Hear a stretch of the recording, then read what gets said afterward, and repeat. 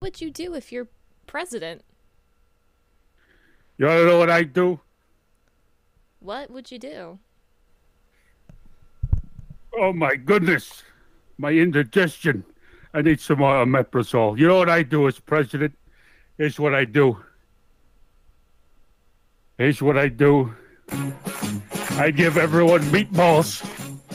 Meatballs for everybody. It's, I'm gonna turn the country into Italy. I'm gonna give everyone spaghetti.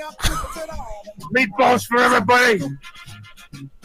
I'm gonna slide spaghetti sauce down my own urethra. I'm gonna smooch everybody on the noggin. It's gonna be a blast. Oh, oh, oh, oh, oh, oh. what is happening? What the fuck was that?